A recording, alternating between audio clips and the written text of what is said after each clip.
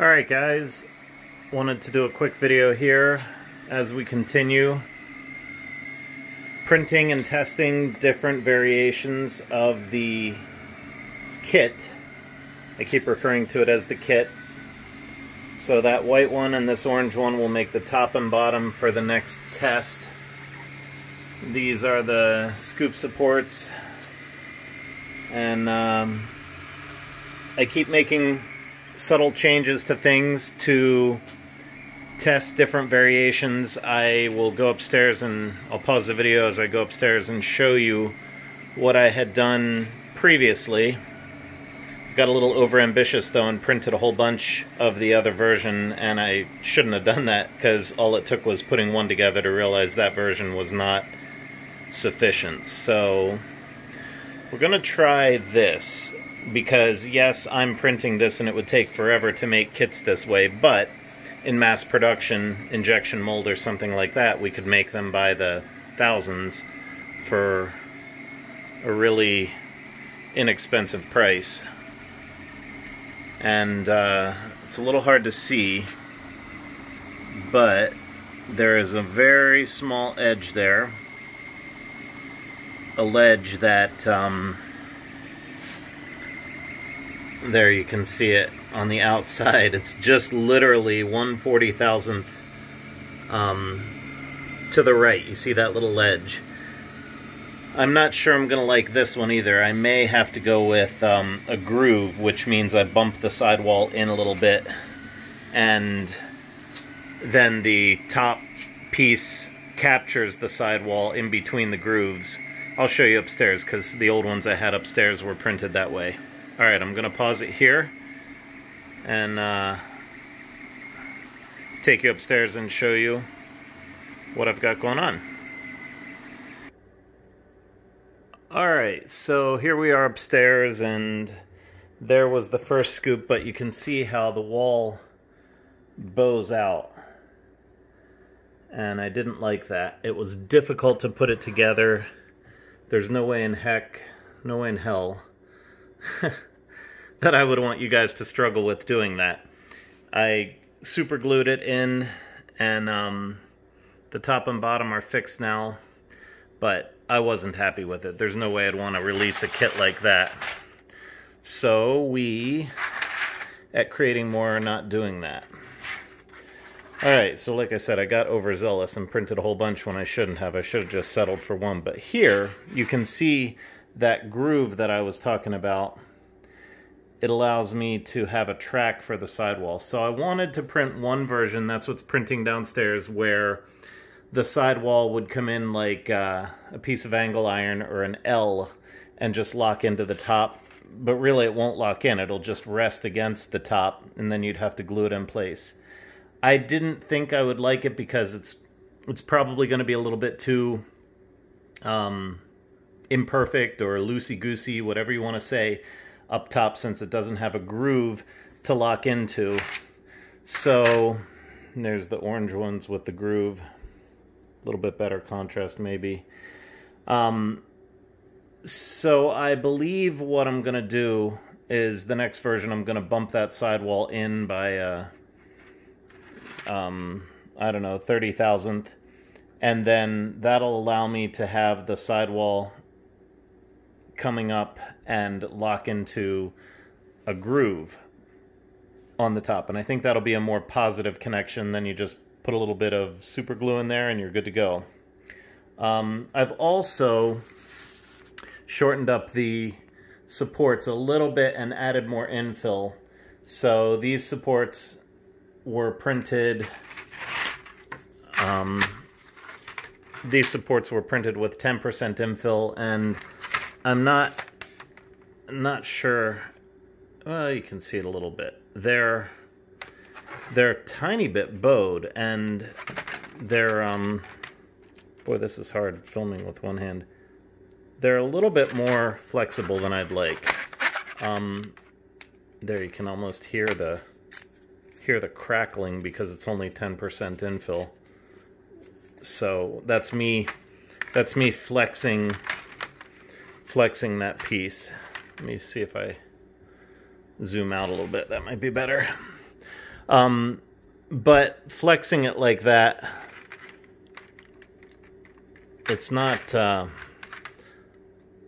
I'm not happy with the way these these turned out. So, like I said, I increased the infill to to 20%, and we'll see if that's better. Um, but I just wanted you guys to know I'm not sitting on my duff. We are definitely testing and working with different components, trying to settle on finding a good, solid, easy to assemble kit that you would be happy with receiving in the mail and then a very quick assembly. I'm looking to keep the assembly under, you know, 15 minutes if I can, maybe 20 minutes. But um, keep it nice and simple for you guys so you can put it together easily. And then I do plan on offering the more expensive expert kit or advanced kit that would allow the furling. But with this version, as you can see, those square notches are where these would go and it would be once you hit the little square hole with the super glue, they'll be just fixed in an open state. So um, I think I had released the footage, oh, I don't know, a week ago maybe, where I showed the white one and the orange one in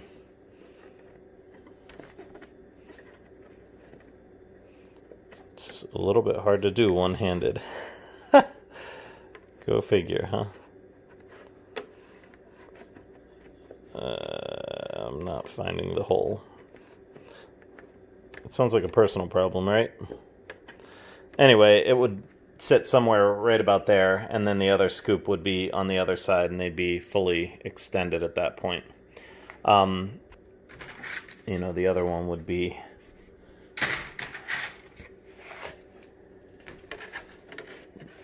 the other one would be like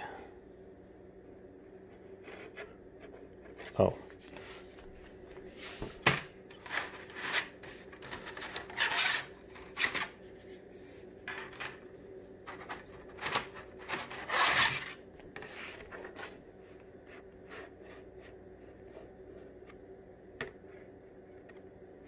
There, so the other one would be like that. Sorry for my finger.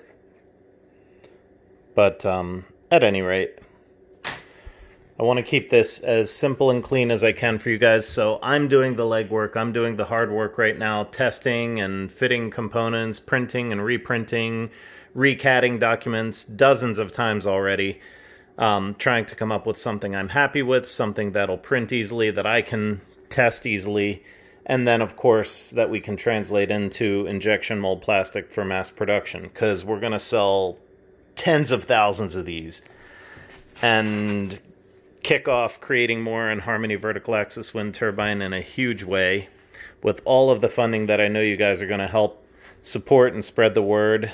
And for a $100 for the little basic kit, you'll get a functional unit that will. Um, I'm going to pause this and show you some of the stuff downstairs.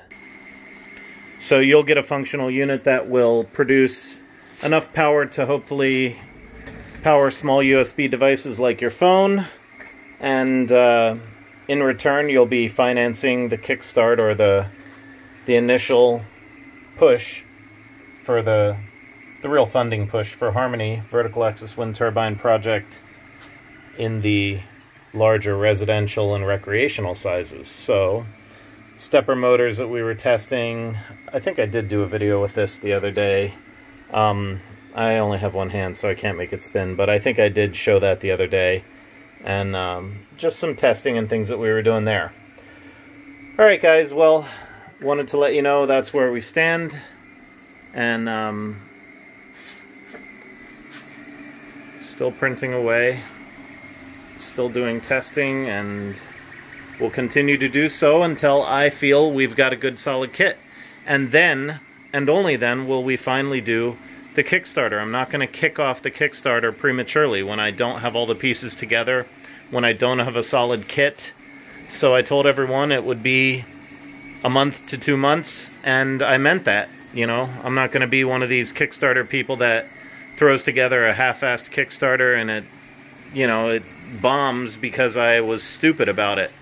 I'm testing the components, making sure I'm happy with how it goes together, how it works, and pleased with the end product, so that you, in turn, can be pleased with the end product when you finally receive it in the mail. All right, guys. What a mess, huh? All right, peace out from Harmony Vertical Axis Wind Turbine and Creating Moore. Remember our Patreon page. Please, it is uh, wonderful to receive support for the ongoing efforts. That one just finished. Pretty cool. So, um, here, I'll zoom in.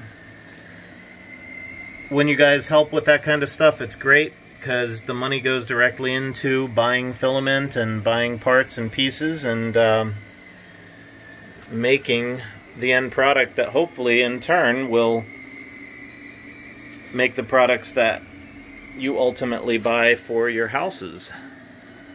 Man, that sidewall is high. Six inches. Alright, guys. So, uh, yeah, please support the Patreon page if you get a chance. Patreon.com slash Creating Moore. And it'll be in the description as well. Take care, guys.